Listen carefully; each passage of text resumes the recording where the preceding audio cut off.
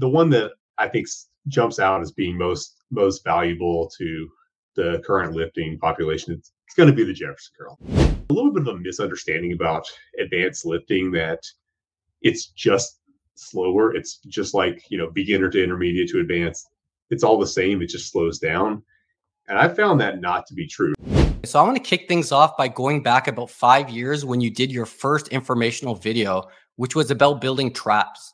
Even to this day, there's a misconception that naturals can't build traps. What are they getting wrong about trap training?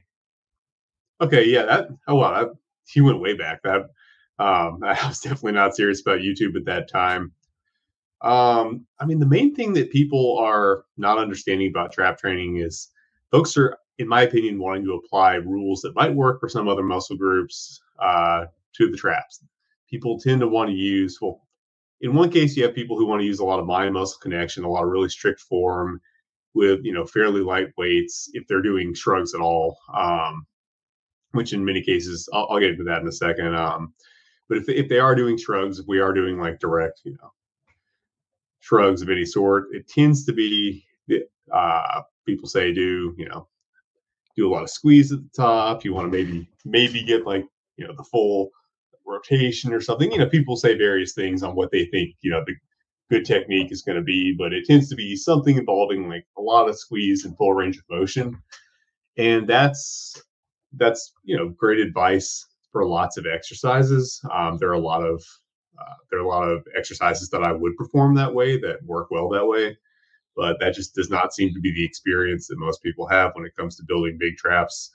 You know, without the use of steroids. Like I, pretty much everyone that I've talked to, in some way recommends heavy weight. Some people recommend heavy farmers walks. You load up the implement, get a bunch of micro contractions while you're stabilizing. That'll build big traps uh, Olympic lifts. You're not necessarily lifting the biggest weights ever, but you're lifting them very dynamically.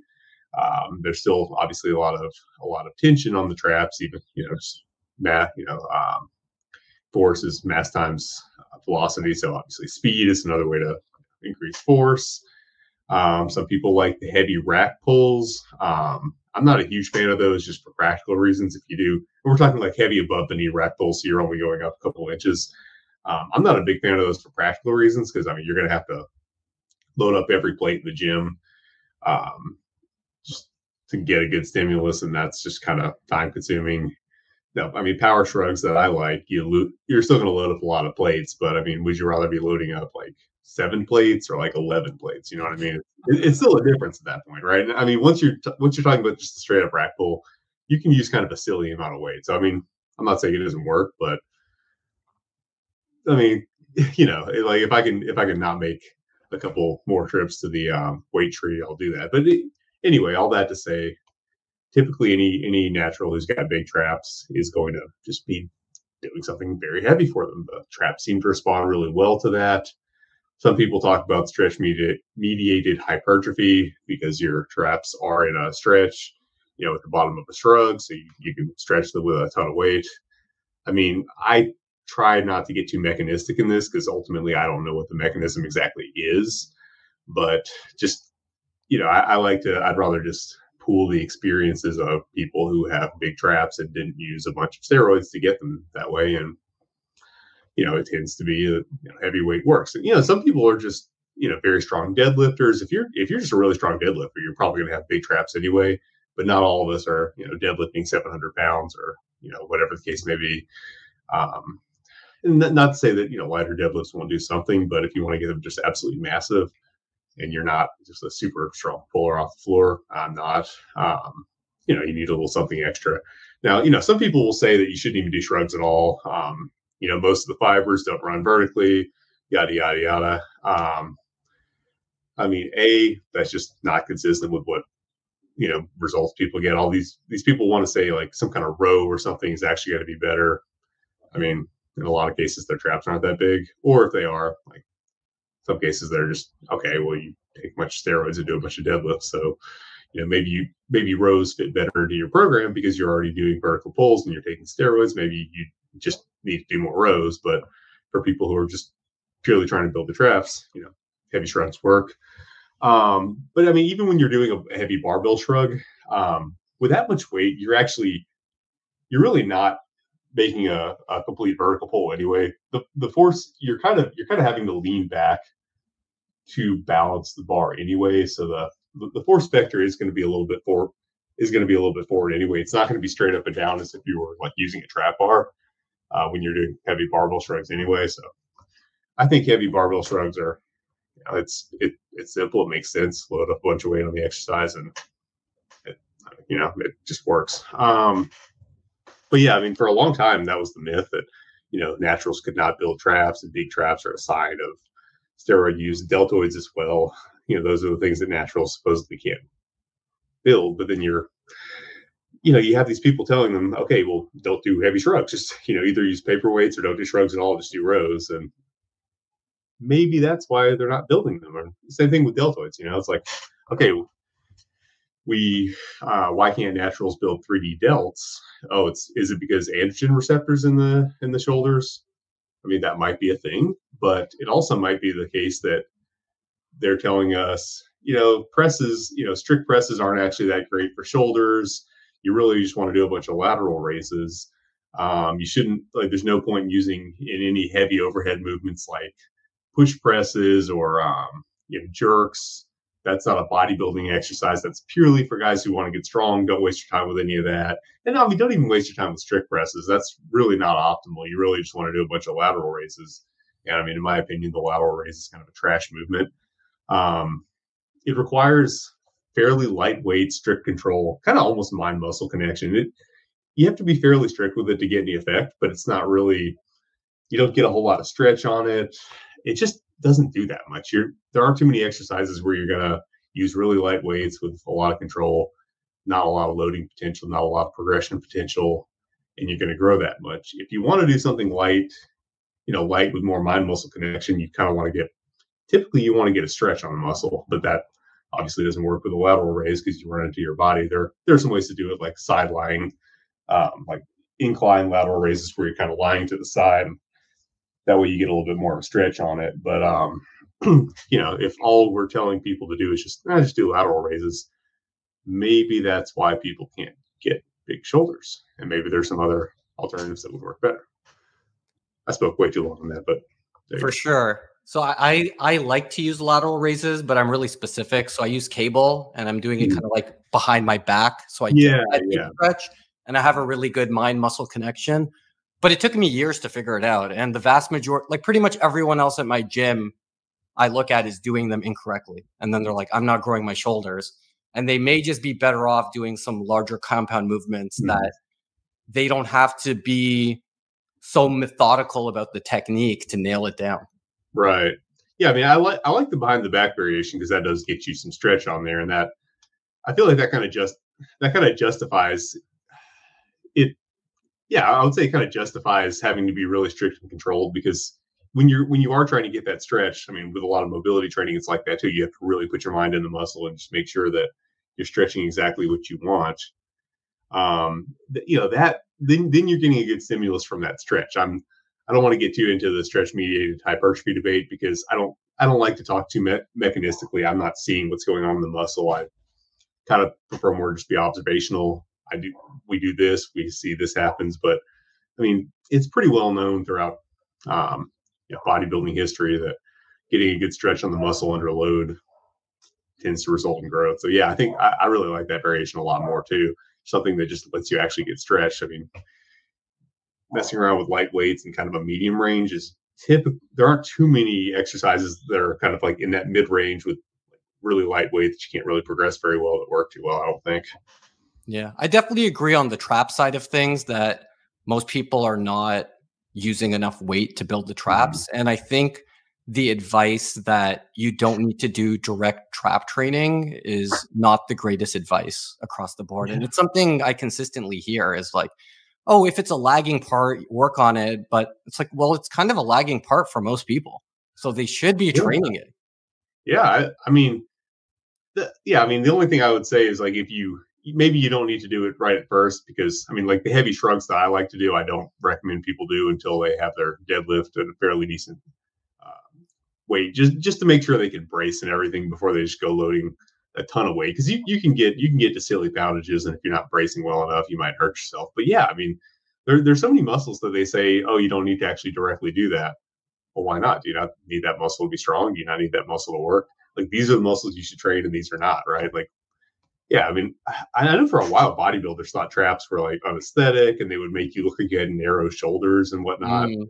that, that was silly. Um I, I, get into a lot of old school stuff, and you know, I, I like a lot of old school techniques. But that was actually something that some of the old school bodybuilders, including Steve Reeves, thought like developing traps is bad. It's going to make you look really narrow. Oh yeah, yeah. Steve Reeves actually believed that if you developed your traps too much, you would look narrow. And if you look at him, he actually didn't develop. He didn't develop his traps that much, and I think it's a mistake. I think he there's nothing that could have made his shoulders look narrow. The guy was just built wide. He had great genetics, you know. But um, yeah, yeah, and you know, same thing you get with the obliques. Um, you know, some other body parts people think are you know unesthetic, but I think you should just develop all of it. Yeah. Do you have any advice for someone who wants to build their traps, but maybe doesn't spend enough time deadlifting or doesn't want to build up their deadlift? Or do you think that's kind of a requirement to kind of like that's stage one? And then to get to stage two and do power shrugs, you need to be yeah. so you can brace your core. Yeah, I would I would do that. I mean, if you don't want to do that, you can do um you can do power cleans, hang power cleans. I mean, obviously that's a little bit more technical, although you can I mean, go to any football gym in in America and you'll see some very non-technical um, power cleans that are nevertheless very effective. But um yeah, I mean, power cleans work, but e- either way, you're going to be um I mean, you're going to be accomplishing the same end. But yeah, I mean, I would say building traps is the easy part. Um, building up the foundation to be able to do that is the hard part. Because I mean, at the end of the day, like that's kind of what the big traps are symbolizing. Like they they they convey, you know, the, the yoke look conveys this aura of power, but I mean, you kind of have to have you kind of have to have the go to go with the show if that makes sense. And I, I don't think you're going to be able to safely, you know, throw around a bunch of weight if you don't have the fundamentals. Uh, I mean, you know, it's not. Maybe you know, maybe um, I, I'm getting into some direct neck training. I think that's that's great. I think you can probably get a lot of uh, benefit out of that. Uh, you know, for your neck, it's going to probably benefit your upper traps as well. So that would that would be um, something else that might be effective for that area. But yeah, I mean, I think I think it's just part of the process. You know, you want the strength, you want the appearance of strength. Why, why don't we build them all? You know, it's it, it's going to take some time, but that's I mean, this this whole thing is going to be slow. What's the rush, right? Do the foundational yeah. work first, and then then build up the traps when you've done that work, right? And oh, especially oh, yeah. if you're a novice, like still work on the fundamentals first, and then yeah. work on everything else. It, it, and that you know, people think that you know, people think it taking time is a bad thing, but you know, you get you get into it enough, you realize that the process of you know making progress is what you like. You know, just getting up to a certain high point and then you can't progress from there is actually a lot less fun than just being in you know in, in that point where you're making progress. And you know, at event, eventually it gets to the point where things that are hard, things that you're not as good at, almost become opportunities. Like for me, I'm kind of enjoying hip mobility, which is weird because I hate hip mobility my hips are not mobile and that's hard for me, but it's also something where I can actually make progress. So, you know, it doesn't seem like the coolest thing, but hey, I can still make progress there. So that's, you know, that's a, that's actually a good thing. Yeah, eh, there's diminishing returns, right? So when you yeah. find something new, it's exciting because you can progress in the gym, but it's also cool because it's like a new topic that you get to research and mess around with and test yeah. out, right? And I think if you are someone who's kind of long term oriented, like that's exciting mm-hmm. as well. Oh, definitely. And then then you get to come back to what you were doing before and see what the new progress in that new area unlocks. And you might be surprised what you can do now that you couldn't before because you know one piece was missing. Now you put that piece in, and you know suddenly new doors open up. It's really cool. Awesome. So I want to move on and talk about your natural status. So you've mentioned your reason for staying natural isn't a moral one, but it's more that getting big on steroids has already been done before. So, can you maybe talk through what people have to gain by staying natural?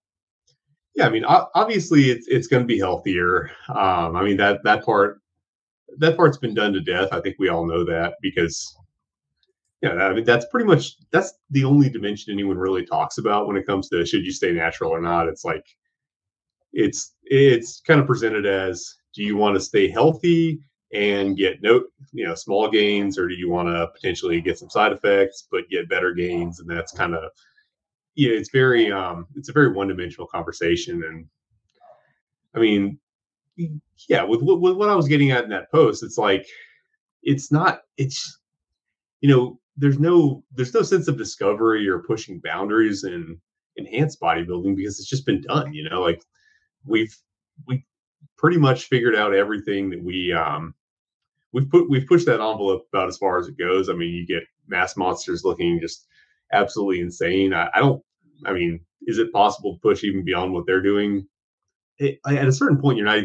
It would be hard. Like if you take, say, Jay Cutler for example, he's you know huge mass monster. Like if someone was if someone was able to get like you know 10% more muscular than Jay Cutler, would you even know? Like would would you even be able to tell or care? Like at a certain point, it all just looks like these guys are just already freaking huge. So where's the boundary to push? And you know, would you want to, right? Like, because most people, I'm not trying, I'm not, I'm not bashing them, but most people don't want to look like that anyway. Um, you know, a lot of people like say the golden era look like Arnold, uh, you know, Frank Zane, guys like that. But then if you just try to shoot for that, like they do with the classic physique um, division, then you're kind of you know, it's almost like it it's lost a little bit of the soul of bodybuilding because back in the day, those guys were trying to push, they were pushing the envelope. You know, Tom Platz, you, know, you watch his workouts, he's in there just killing it, trying to, you know, bring something that nobody's ever seen before. And now you get the classic physique guys, and I mean, they look good, but it's just kind of like, okay, we could get this huge, but we're going to instead stay this big. So we're really not pushing the envelope at all. We just want to look pretty. And I mean, the, you know, it's, it's a marketable physique, but it doesn't have that um, it doesn't have that you know sense of exploration and excitement um, that the golden era did. And in my opinion, the only thing that really does have that excitement is um, you know natural bodybuilding because you know as soon as steroids came out in the 60s, everybody jumped on them, and you know. Hey, it's this new thing. We're seeing physiques like never before. I mean, just look at you know the first, probably the first big steroid champion, Bill Pearl. I mean, you look at his arms, it's like, wow, this is something we've never seen before. I mean, as great as people were before then, then you look at that tricep shot of Bill Pearl, and I was like, what is this? You know, you know, well, you know I, I, know why they all jumped on. It's like, oh wow, we we can do things no one's ever seen before, and you know, from the you know from the from the 50s to the 70s, it's just like night and day. You're just in this whole new um, whole new uh, area to explore, and that's exciting. But you know, then we just kind of I think we kind of skipped just really pushing natural bodybuilding as far as it could go, or you know, I mean, can, can anyone get bigger than someone like, say, John Grimek? I don't know, but I don't feel like that's been certainly it hasn't been explored as much recently as the enhanced side. So that's, I, yeah, I think that's more exciting. You know, when you see someone that you genuinely believe is natural, like uh, like GVS getting those crazy 18 inch arms, his tricep looks wild. You know, it's like, oh wow, that's I didn't think that was possible. That's cool. You know, like that's that's way more exciting than some you know, yet some other guy just getting to like 280 pounds on the Olympia stage. I mean, I'm not bashing them, but like, okay, we we've been seeing that, you know. I like I think no one like maybe this is I mean, this is just this is just me kind of speculating, but it kind of seemed like nobody cared about natural bodybuilding until the mass monster thing happened. Like no one no one cared about natural bodybuilding in the 80s. They didn't care that anyone was on steroids because the guys were just, you know, looking really cool up there on stage. And I don't think anyone cared about natural bodybuilding until it got to the point where the, the top guys were just like, okay, that's too much. No one wants to look like that. Is there another way that we can do bodybuilding but still be taken seriously? That's kind of how I, I see it. Um, I mean, then there's as far as other reasons for staying natty, it's just like also like, do you really want to be? You really want you know to be dependent on something like that? Do you really want something outside of your direct control to be that important to you, like that's kind of that's a that's a big commitment. I mean, you the way you look, the way you feel, everything is now dependent on you being able to pay for something. You know, what what can that get you into? Um, your depend, you know, it's it's dependency. And I mean, there have been plenty of um, plenty of rumors about bodybuilders over the years having to do a lot of things that they may not have wanted to do to get their their cycle. That's that's not good. Um, it's just in general, it's just like a do you really want your masculinity to be a subscription service. That's, I mean, I'm not saying no one should ever do it, but that's, I mean, that, that's that's a big thing to think to take into consideration. I'm I'm doing this. I'm now I'm committing to, um, you know, I'm dependent on these drugs to be what I want to be for the rest of my life. That's it's a lot to commit to. Um, you, you you are giving up, you know, some degree of freedom. I think in a lot of cases to do that. Yeah, I agree. I think I think you are giving up freedom. I like your quote around the subscription service. I've never heard that before. I think that's a good angle. Um, so, so what I'm going to do now is I'm going to throw out some quotes you've said in the past, and just tell me your first take on it or the first thing that comes to mind. Uh, so the first one is don't be a specialist in the gym. Yeah. Um, well, I mean, if obviously you have to specialize if you're competing at a particular sport uh, to a certain degree. Although even you know a lot of um, a lot of actual competitors are going to do well by branching out. But yeah, I mean, if you're if you're trying to be a specialist in the gym, you're going to hit diminishing returns on whatever you're specializing in. Um, you'll get to the point where you're overstressing all the same areas that you constantly are pounding. You're you're going to get to the point where most of the actual progress you make on whatever you're specializing in is the result of you know practice peaking a lot of things that don't transfer over to anything else. So let's say you just are super focused on your back squat bench press and sumo deadlift. I mean you'll definitely get to the point where like, a sumo deadlift pr doesn't necessarily translate to any other strength in any other area. You're just getting better at sumo deadlift and probably in the process just constantly stressing those same areas they could probably use a break anyway um, versus you know using uh, much more diverse or focusing on a much more diverse uh, array of exercises you know. You're not going to be just getting like peak prs you're going to actually be getting stronger. You're going to be using multiple modalities to build up you know various abilities that can then translate over to other things. Um, yeah, so I, I think in, in general, you know, specialization is probably not a great idea unless you're a high level competitive athlete that obviously has to specialize in that one thing. Awesome. So the next one is the first rule of incorporating old time exercises into your training is if it ain't broke, don't fix it.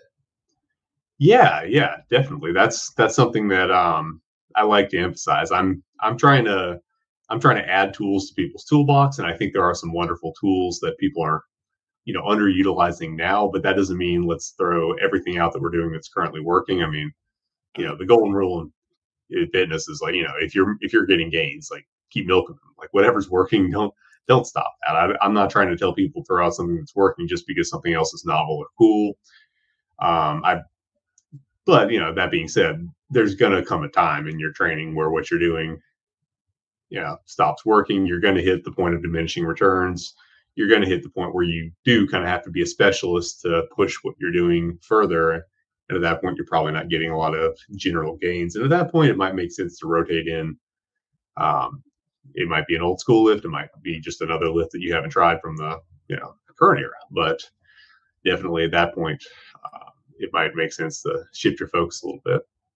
Yeah i think i heard you say this like on another podcast which is like I'm trying to present a toolbox. So do what you want a la carte as opposed to providing a full training style and system. Oh yeah, exactly. I mean, because I know with with my audience, I think my audience tends to be um, definitely a higher level than I'm. I'm not really trying to chase the beginner audience, and I think you know from the comments I get, you know, I have a lot of people who are coaches, fitness professionals, athletes, people who in a lot of domains of fitness are you know more knowledgeable than myself. You know, I'm like I in, in a lot of cases, you know, I'm I, I have people who are you know world class coaches, you know, watching my stuff. I'm not trying to tell anybody how to train, but you know, I may have pushed one particular exercise farther than they have or farther than they should. Like let's take Jefferson curls for example. That's one of the exercises that I push. I mean, I've you know, I've pushed them as far as anyone that I know of in the current era and that's because you know I'm not a pro athlete. I don't have a career to you know screw up if I'm um, if I end up getting injured, which I haven't. But if I were to, wouldn't be the end of the world. You know, that's data for um, you know some coach to say, okay, well maybe he got away with this. You know, that gives me kind of a frame of reference where I, so I can see you know what I need to give my athletes, right? But anyway, yeah. So that's so I'm just trying to give tools. Um, you know, I know most of the people that are, or at least you know, a lot of the people that are following me don't need me to just reinvent the wheel and just teach them how to train. They that's not really where I can provide value. I'd rather just share my experiences with certain tools that you can then add. And I mean, you know how you you know how you like to train. Let me just give you some insights into this one tool. You know. Yeah, and I think that's the appropriate messaging for like late intermediate advanced lifters anyways right mm-hmm. it's like what additional things can i experiment with and test and see what other people have done and then leverage that but I'm not yeah scratch right and that's such an underserved market too i mean because everyone does target the beginners i mean it's that's the biggest audience you make the most money if you target them and you know also you know, I think that a lot of people are you know, maybe correctly concerned that if we talk about things that are too advanced, might confuse people. People might get hurt. But what that does, I mean, it really does leave a lot of good people who do all the right things, follow all the good beginner advice, you know, do the consistency, you know, do the basics, do everything they're told. Kind of, you know, without without too much. It's like there's a big gulf between like, okay, you're a beginner, all this content is targeted at you. Can you please be consistent and just go to the gym? Please, please be consistent. Please be consistent. Stick to the basics. And then, okay, you get through that. There's kind of this gap, and then up here is like, okay, now you have to specialize in a particular sport. You could be a power lifter, Olympic lifter, strongman, bodybuilder, and you know, yes, specialize in the sport. Most likely take something and do that. But there's this like there's this big middle ground between those two, and I think that had, you know, could stand to be built out a little bit.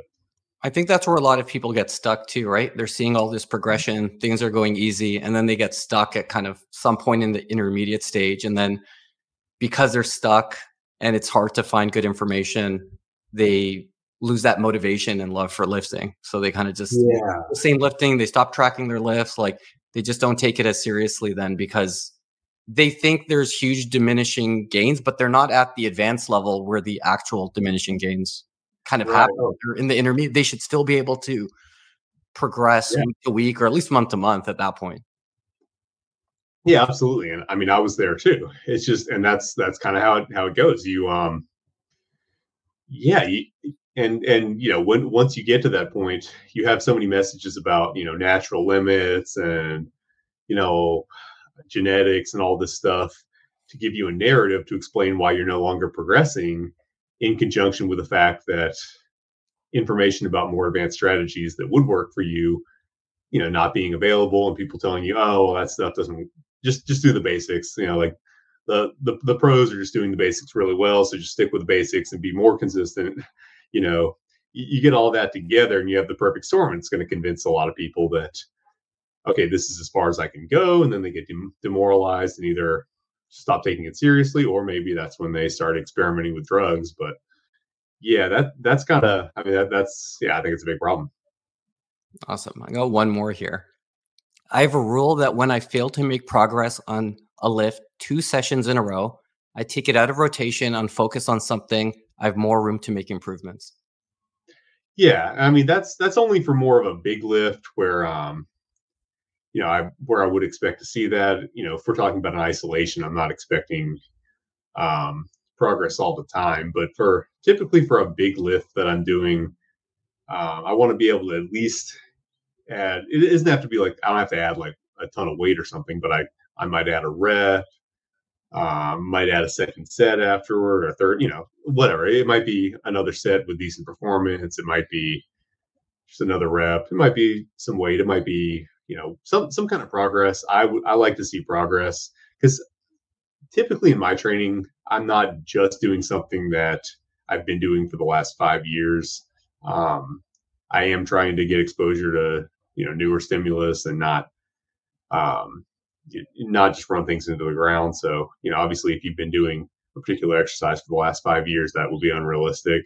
So that's kind of in the context of my training. And you know, obviously, with something light, like a lighter isolation. Certainly, I can't expect that. But you know, typically with a big lift that I'm focusing on, I do want to see that. And if I'm not making some kind of fairly, uh, you know, any kind of progress whatsoever, um, it, probably something I should be focusing on that's different. And that, that that's not what you hear from a lot of people. A lot of people are going to say be more patient. There's there you know there's reasons and context for why they're saying that, but with the style of training I'm doing, um, I if I'm not able to progress something, there's probably some lower hanging fruit that I could be switching to, which doesn't mean switch like every, it doesn't mean switch, you know, every day. You still have to train something for a while. And, you know, what, what this will look like in practice is usually I'll be, you know, I'll, I'll focus on a particular exercise, um, usually for a couple months. Like this, this, um, this last bulk I did, uh, snatch grip deadlifts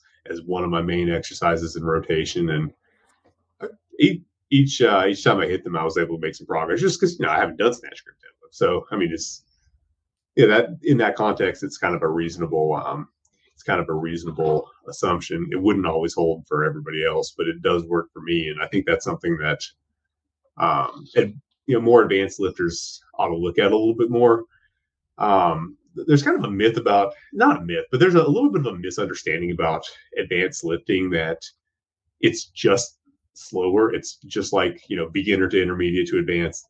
It's all the same. It just slows down. And I found that not to be true. Like, you know, if you just do the same things, you'll make progress, but much, much slower. Um, I found that it's the, the it's not that slower. It's just like things stop working. So it's it's kind of more either things work or they don't. So if you just if you just keep like doing the same thing and thinking, okay, maybe there will be progress eventually, um, you might just not get progress and on the flip side, even if you are overall an advanced lifter, you might find something where you're still able to make fairly rapid progression on, and you actually do see, you know, no, more noticeable um, increases. So that's that's kind of the mindset behind that. Yeah, I think it comes back to when you said don't be a specialist, right? So if you're only mm-hmm. doing three lifts, eventually you're going to kind of plateau and you can try oh, yeah. to keep pushing through that forever, or you can just alternate exercises and build that up. Mm-hmm. Right. Yeah, and I mean, and, and, yeah, I mean, just trying to stick with it, especially on those on those uh, plateaued exercises you've been doing forever. Any progress that you do end up making, it's not going to translate over to anything else, most likely. Whereas, like, put I've I've seen in other lifts, you know, pushing for progress each week on um not each week. I was doing it like a three week rotation, but each session on um on um snatch grip deadlifts, you know, I'm, I'm seeing it. I'm seeing the results already in other lifts. So awesome. I just started reading your book. It's pretty fantastic so far. So I did want to know what's your Mount Rushmore, your four favorite old school lifts that you think everyone should try? Everyone should try. Well, four favorite are, are we talking about um as far as as far as function, I mean, the one that I think jumps out as being most most valuable to the current lifting population, it's, it's going to be the Jefferson curl. I mean, that's you know it's something that you can you can teach to a healthy senior citizen who may be you know fairly frail but you know is healthy. I don't recommend jumping into jefferson curls with any kind of back injuries uh, without first you know getting uh, actually checked out by a pt i'm not gonna i'm not gonna prescribe um, exercises to fix injuries. That's above my pay grade so get checked out. But if you're healthy then it's it's all about load management all, load management and um, just uh, managing the range of motion. Because with the Jefferson curl, it's based on you and your range of motion. You you get down as far as you can. That's your range of motion. You you bend your spine as much as you can. That's your range of motion, right? You can do it. You can start out with just body weight, and you're basically in a pike stretch. If that feels good, you can you can do as little as you know, grab a 2.5 pound plate. Okay, that's a little bit of load. Five pound plate, 10 pound you know so it, it can be loaded to anyone in the range of motion unlike a deadlift which you know comes from the floor it's it's got kind of an objective outside starting point. Jefferson curl molds to whoever is doing it right? So that's it's got benefit from everyone from um, you know, someone who's just looking to avoid a little bit of injury just build up a little resilience in those areas all the way up to elite athletes. You know i think this is probably a, a, fantastic tool for say wrestlers who need to be some of the strongest most mobile athletes on the planet you know you already see the the um the, you know, the soviet wrestlers certainly were doing the um the uh zercher deadlifts which yeah. is a similar movement i think you know the jefferson curl is a little bit more mobility focused but yeah i mean the jefferson curl just has so much benefit for everyone from a senior citizen to a bodybuilder it's in my opinion the best spinal erector builder to obviously a lot of athletes could stand to benefit from it. So that's that's definitely one. Um, as far as Mount Rushmore in terms of cool, it's definitely the bent press because I mean it's it's not for everyone. Not everyone's going to be able to do it. In fact, most people probably starting out would wouldn't even have the mobility to immediately do it. That would have to be worked on. But when you do when you do um, build that, it gives you an opportunity to just do an unprecedented feat of strength. It's it's for those of you who haven't heard of it before. It's a one-handed lift where you're essentially pinning your your elbow to your body and bending under it. You're you're side bending under the weight in order to lock your elbow out using the strength of your lats, obliques, total body rather than arm strength. So you're bending under the weight until you have a straight arm, then standing up with the weight. And this this allows just completely unprecedented weights to be lifted. Uh, the record, I believe, is Arthur Saxon's 371. I believe is Saxon's record. So that's a 371 pound one armed overhead lift. It's pretty crazy. Um, that even in pro strongman, where some of the um, the body weights are 400 pounds or over, uh, there there are no one hand lifts that are that heavy in modern pro strongman. I think like the lower threes are as heavy as it goes with some of the circus dumbbell lifts, but you had basically a 205, 210 pound man and what, what was it, the teens or 20s lifting more overhead with one hand than our modern strongmen who are literally double that size or more. So that's pretty impressive. Um, and you know we're we're no, we don't have anyone um, getting quite that heavy now. We're we're getting some people into the 200s. Um, and you know, back in the day, it was seen as something where if you practice, if you're just a, an enthusiast lifter, not necessarily a pro athlete or anything, but if you're an enthusiast lifter who practices the lift seriously, you'll probably be able to lift your body weight uh, in a couple years. That was kind of the standard. And, you know, tons of people um, who whose names we've never heard were lifting 200 pounds or more overhead with one hand back in the day, lifting their body weight overhead with one hand back in the day. So I think that's a really cool thing. I mean, maybe we're not all going to be Arthur Saxon and lift like 370, but I think a lot of people with proper training could lift their own body weight at least overhead, and that's that's pretty cool. I mean, I think that's a that, that's a feat most people have never even considered possible for them, but it it absolutely is. So that's you know, for the more obviously it's not it's not got the same like um you know it, it's not as applicable to as many people but for the serious strength enthusiast that is a pretty cool feat to shoot for and in the process, you'll have to actually work on some mobility, and you'll probably be a lot better for it, in, you know, in the long run anyway. Uh, let's see what else. Um,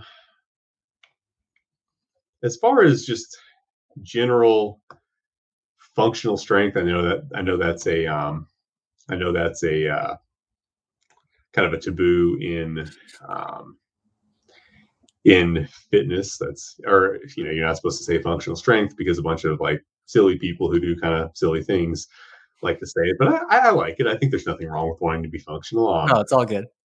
And if you're if you're using a barbell and not any kind of specialized implements, it's hard to uh, it's hard to beat the full Zercher cycle. Now with Zerchers, there's a lot of um, there's a lot of different variations of the Zercher. So let me explain what that is. The full Zercher cycle is what you've probably seen. You deadlift the floor, conventional, or maybe a, a mild sumo off the ground to your knees, put the bar on your knees, hook your elbows under it, and stand up, right? I mean, it's hard to get more functional than that. You're basically doing a ton of strongman movements with a bar. I mean, I've used movements very much like that to move stuff in real life. It, you know, it happens. You know, I, I, I have to say, I think working up to a pretty heavy full Zercher cycle, I think that's going to be a little bit more functional than just you know leg press machine. I'm sorry, it is actually probably going to be more functional for your life. You know, and you know, it, it's a it's a great exercise as well. It allows you to Zercher squat, which is a uh, it can be kind of a hybrid hinge squat that can you know build some um, you know build some some backup while also getting you a good quad stimulus or you can make it a really squatty squat a really quad dominant squat by just staying really upright it actually makes it can actually make it just a really fantastic quad exercise where you're just getting a really good pure quad stimulus so it, you know, we've got we've got function, we've got bodybuilding, we've got, and it's it's fairly accessible. Most people who are physically fit will have no problem doing it. So that's you know that's a, a good combination. And and it looks you know if you push the weight a lot, it looks really cool. It's a fun feat of strength. So we've got kind of that nice balance of functionality, bodybuilding, feat of strength. It's just it's kind of good to be able to pick something up off the ground, reposition it, carry it at a higher hold, and just carry it around, right? Awesome. So that's that's that's what number three. Um, three, yeah. Let's see, what am I going to pick for four? I'm, I'm trying. I, I, have a tier list in the back of my book where I rank them, but that I'm, I'm using a little bit different criteria there, so this isn't going to directly mirror that as much. Um, I'm just gonna I'm just gonna throw in the one hand deadlift, and the reason I'm throwing that in is it's a phenomenal feat of strength. Herman Gorner did a, I think we his record. Supposedly he may have done more than this, but there's some debate on that. But his record was like 664 pounds, one hand, just a barbell, one hand, 300 or 664 pounds. It's a pretty good feat of strength. Um, but we've had a we've had a lot of modern people get fairly close to that. Um, Joey Keeley did uh, 550 to full lockout, got uh, six plates all the way to his knees recently, and he's like he's what his early 20s, very impressive young lifter. So that's it, it's something that's fairly accessible. Like obviously, you're you're going to have to use hook grip like an Olympic lifter. That's where you um you wrap your uh, your thumb around the bar first, and then wrap your fingers over it to secure keep it from rolling out of your hand. But when you do that, you lift a surprising percentage of your two hand deadlift, and that's a that's a fun feat of strength for a lot of people, but it's also got obviously a ton of um, a ton of developmental benefit as well. It's a good overload for for your upper back because you know one half of your back is being subjected to greater loads. Um, you're having to deal with a little bit of an asymmet- asymmetric load. Um, you're having to um, you're getting some lateral movement as well. Typically, we only work um, you know we're not, you know, we're not bending side to side. It's not, it's not quite as much as a suitcase deadlift, which is also a, you know, a good lift, but you're getting some, you're getting some side to side stabilization work. Um, you know, it's, it's a good, it's another good combination of um, accessible, functional and valuable, you know, good developmental benefit, but also just a really cool feat of strength once you get good at it. And I think as far as one of the things about a lot of the old school lifts is the the level of skill mobility and whatnot that you have to do to actually perform it is can be intimidating. Like the bent press is just hard to get into. Well, the one hand deadlift's pretty simple. It, it's not that comfortable on your thumb, but you know anybody who wants to dip the toes in the water can pick up a bar with one hand. You don't have to have any special, um, you know, gymnastic ability. So it's a very accessible way to push yourself and say, and you know, probably surprise yourself with what you can do. You, I think a lot of lifters out there would be really surprised with how much they could end up you know lifting one handed if they trained it. So it's a good good little entry point, I think.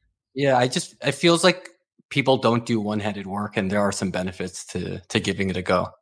Absolutely, and I mean one thing that I've noticed that'll surprise people, you know, if if you're going from um, always pulling conventional to mixing it up with some one hand, it can actually be easier on the back. I mean, you're using less weight overall, and you're also changing up the changing up the stress a little bit. Mm-hmm. Just having little little changes in those stress points, you, you know, you might you might have one day where conventional deadlifts feel really bad, and something like a one hand deadlift, a Jefferson deadlift, or a hack deadlift feels fine, just because you're not changing it that much. You're still pulling something heavy off the ground, but you are changing the movement just enough that you're not hammering yourself in the exact same way. And that can be all that you need to go from I feel bad, I can't pull from the floor today to oh yeah, um, I, I, can still get a good session in. So it's just you know more tools in the toolbox for sure. Two things. I thought you were going to say a pullover, which you didn't. And then the second is I went down the rabbit hole on Arthur Saxon and Eugene Sandow because I saw mm-hmm. a post about him. That was that was interesting little piece of history there I didn't know mm-hmm. about. Yeah, but I mean pullovers are I think pullovers are fantastic developmentally. I kind of I think they have a, com- a, great combination of bodybuilding and health benefits. And I mean I guess they can be a feat of strength. I mean some of the some of the silver era guys would do insanely heavy pullovers. That, that's why I didn't mention it for you, just because like, the way you presented it at Mount, Mount Rushmore, I was trying to add some more like fun feat of strength, which no, I mean, makes sense. Yeah, for yeah, sure. I mean, pullovers can be, but I, I see them as more developmental. And I mean, a lot of people will disagree that they, oh, they don't actually build lats. I'm actually getting in, I'm actually going to do a debate on that next week, which should be fun. Um, but uh, no, I'm, I'm, I'm definitely pro pullover. But um, yeah, yeah. I mean, I wish I could list all these exercises. I like them all, but there can only be four, right? all right. Uh, fact or fiction? You used to go by the name Dorbra. Oh wow.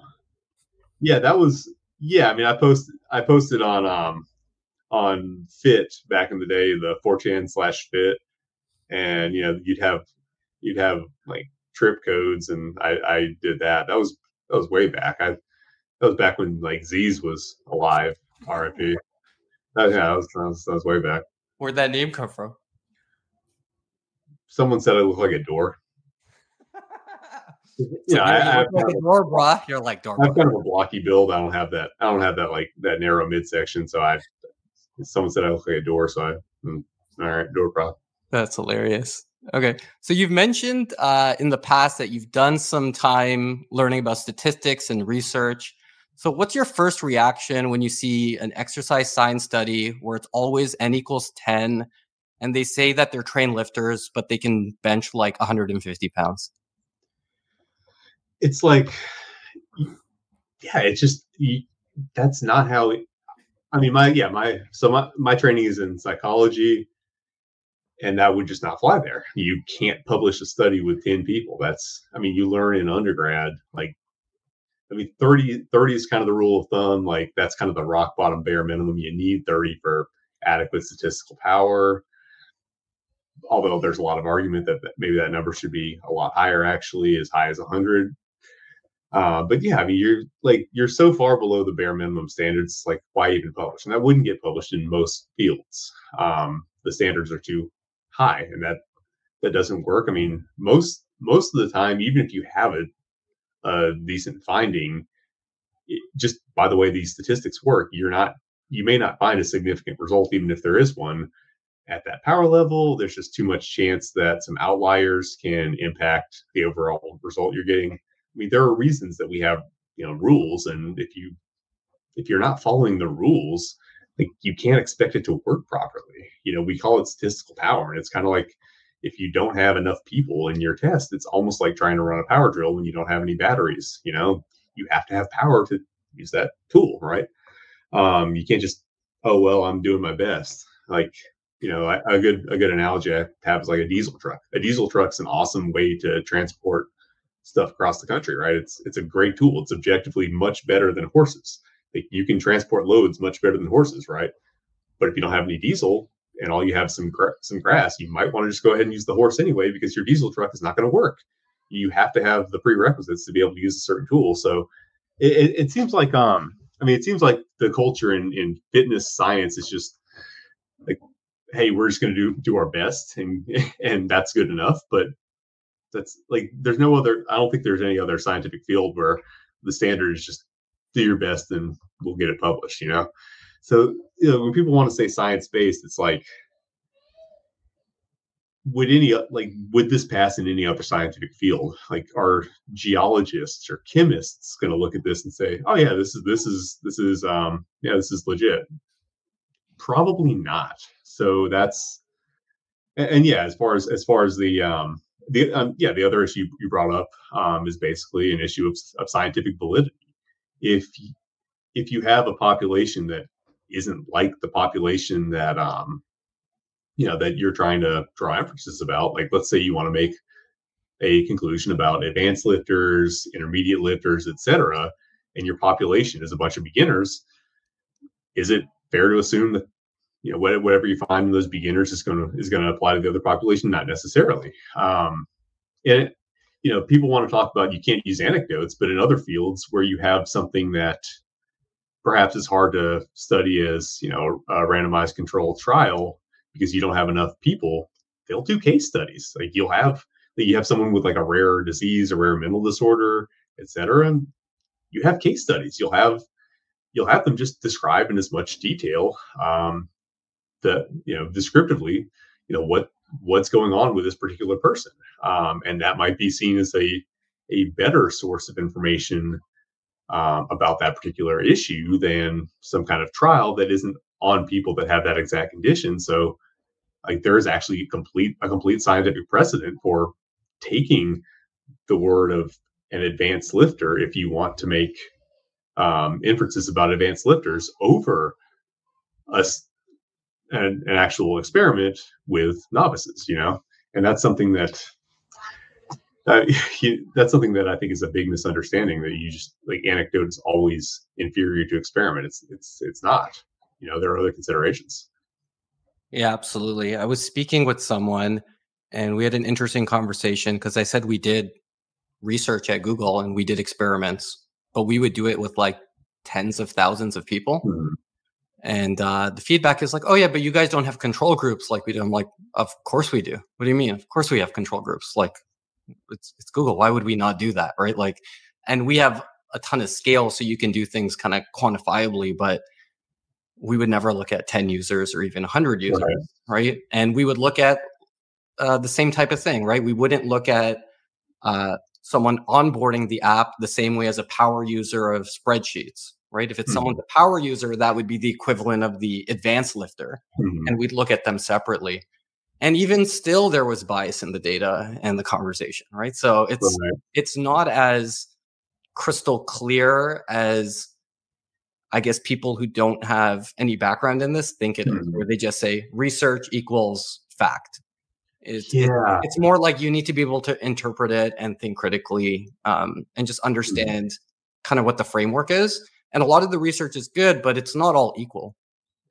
Yeah, and I mean, it's just seeing the back end of it. You do see uh, just how much control researchers have, or how much opportunity researchers have to monkey around with things. The most advanced thing I ever got into was factor analysis, and I'm not. I never got good at it. Um, that was that was kind of where I kind of checked out and like really stopped caring at all. But even there, it was very clear, even with that level, which isn't like certainly is not the most nearly the most advanced statistics out there. It was just very clear how much control the researcher has, how how much ability to just monkey around with things to try to get the results to work out in a way that's interesting. Because I mean, in, in psychology, it's all about finding a novel, interesting find. So you know, in a lot of cases, what they would do with something like that is just get some data and then like kind of just play around with a different with analyzing in a couple different ways and see if we can find anything interesting out of that and then um, make the story uh, make up a story to go along with the data that we that we found. But it's very it, it is very clear there's just a lot of ways to monkey around with things. I don't think they're doing that so much in sports science. I think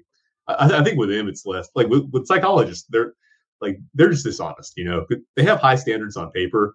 I mean i'm I, like that I, I, and i'm not i'm not bashing them. Like they have they have a it's a nasty system publish or perish like you're talking about somebody's life. You're you're talking about somebody getting fired from their job having to move having to try to support their family somehow. That's that's a lot of pressure to be under. So i'm not blaming these people but in psychology like the thing is there are going to be very high standards on paper but people are just going to do what they have to do to meet that standard even if it means completely fabricating their data. We've seen that. Just taking a data set that you have and monkeying around with it till you find some kind of finding and then coming up with uh, you know a hypothesis to go with that finding that you you know all sorts of stuff like that so that that that's what happens i think in some of the sciences that try on paper to um, have higher standards but obviously when you're under that much pressure you might do the wrong thing i think with i think with sports science though it's just like we're not going to do that. We're just going to have no standards, and you can just get published with like whatever. So just, oh yeah, oh, you got ten people, yeah, yeah, we got you. You know, we'll, we'll um, yeah, go ahead, go ahead, we'll publish you. Yeah, I think a lot of the times it's exactly that, right? Like they get a bunch of different pieces of data and they find the one that makes sense for them because mm-hmm. in- incentive drives behavior, right? So in the tech world, it's like, I want more employees under me or I want to get promoted. So then you mm-hmm. make decisions based on that. Um, I, I don't think it's fabricated, but it's trying to find that one piece of information that is novel and exciting to talk about. Yeah, and it's and that that's the thing. I mean, there are some people that we've caught lying, but there are so many more. But the thing is, there's so much there's so much middle ground between lying, um, between just full on lying and being completely honest. Where, yeah, I've seen I've seen it happen firsthand. You can kind of like you can tell yourself a little bit of the story why just p hacking just this much is acceptable. You know, let's say like outliers are a great option for this. You have a data set with some outliers. You look at the outlier. Is this outlier throwing your data off in a because you know you have the option as a scientist, and in some cases you you probably should throw an outlier out because they are ruining the uh, experiment. You know, let's say somebody comes in drunk and you know makes a fool of themselves and just completely throws off the experiment. You might want to throw that person out, but you can always just kind of look at outliers that maybe skewing your data in a way that you don't like, and you can look at them and kind of with a fine tooth comb, like, is there anything that would justify exclusion? is this really justified? And you know, you can tell yourself a story about, yeah, I should kick this guy out because this, this, or you know, this or that. So there's a lot of opportunity between.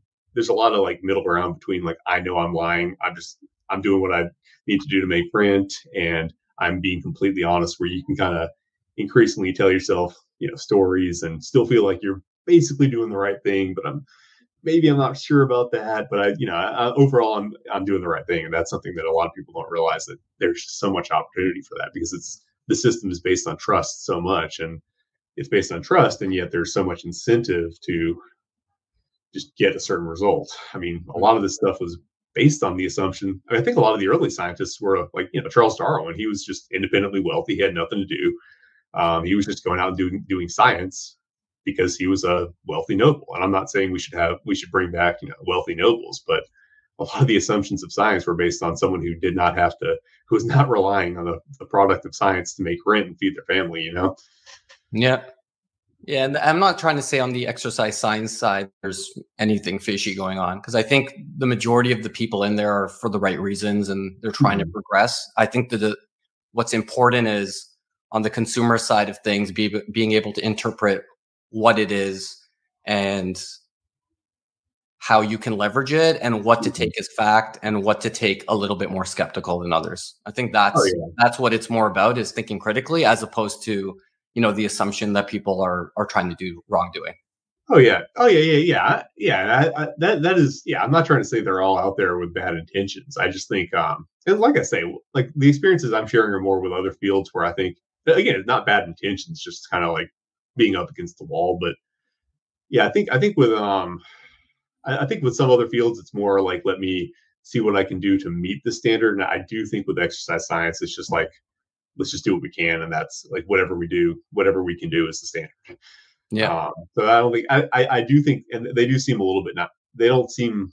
Yeah, I don't. I don't get the impression. I, I, could be wrong, but I don't get the impression that there's a lot of like fraud there. I, I just get the impression that instead of pushing people into a situation where they might have to do fraud. They just like kind of like lower the standards to the point where they're maybe not meeting the standards that most other fields would consider to be basic.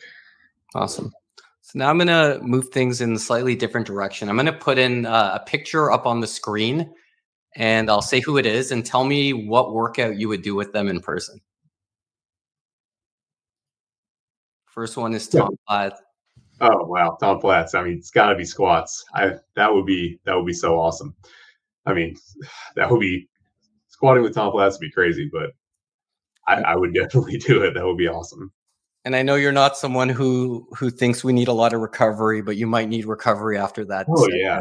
no, I, I, that's the thing. I, I like recovery. I, I I don't I don't train in like definitely if I was going to do a Tom Platz squat workout, I'd need I'd need more than a week to recover. I, I train frequently, but it's that's distributed over a lot of body parts. Yeah, because I'm you know I'm trying to hit neck, I'm trying to hit calves, I'm you know all, all the stuff people skip, um, and just you know give everything the detail that it requires. But I don't actually train each individual group that often. So yeah, oh man, that would be fantastic to train. Yeah. Train. I don't even care about I don't even care about about my quads. It's it's not about the quads. It just be about that intensity. That would be awesome. All right. Next one is GVS uh, I would definitely train arms with him. I I want to pick his brain on. I'd want to see every little detail of how he's doing the tricep stuff. Awesome. All right, we're gonna move over to Steve Reeves. Steve Reeves. Okay, what would I? Yeah, because I, I, I disagree with something. It would it would still be arms. I mean, fantastic arms. You wouldn't try to uh, get him to do your trap workout because he's been neglecting it. Oh, I, I, I tell him to. Yeah, I, I think he would. Um, I, I don't know that he would want to do that though. But yeah, oh, can I mean, can you imagine? Like I'm, hey, you you know, um, what's this? You know, Serge Nubret. Have you seen pictures of Serge Nubret? Yeah. Uh, you know, competing against Arnold. I mean, I see him as being some a lot like what I think um, Reeves would look like because they both have that really narrow waist but you know, Serge Nubret has really developed traps. I think if um, I think if Reeves actually developed a little bit more in the areas that he thought were unesthetic, I think he would have looked a lot like a Serge Nubret naturally. And you know, not to bash Nubret, but I mean, obviously, uh, he had a great physique. I'm not, I'm not bashing in any way, but obviously, he was a product of his time, right? Yeah, I think you can even see in this this picture, right? He has a fantastic physique, but you can't really see the traps. Yeah, that was that was by that was by design. I think you know, I think if he hadn't shied away from, um, and you know, the guy was the guy was very strong, and he was do, he was for the things that he was trying to develop, he was he was a beast. But he was trying to avoid developing the midsection, the glutes, the traps, and I think I think he could have even packed on even more mass, and it wouldn't have ruined his aesthetics at all. I think it would have looked fantastic if he had um, not had those ideas. All right, and the last one here: if you could train with anyone from Lord of the Rings, who would it be, and oh, what would wow. you do? That's awesome. Um, I, I feel like the uh, anyone from Lord of the Rings. I mean,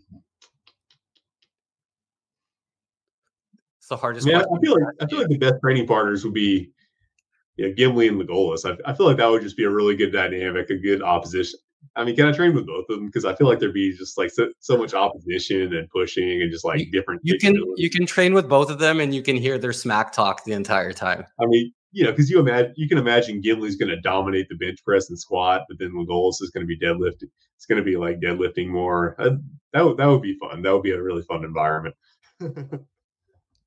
awesome, dude. Thank you so much for your time today. I really appreciate it. Where can everyone find you? Um, pretty simple. Atlas Power Shrugged on Instagram, Atlas Power Shrugged on, on YouTube. I'm trying to make a little push to improve the YouTube quality and frequency, and um, also my website, atlaspowershrug.com, where you can buy my book.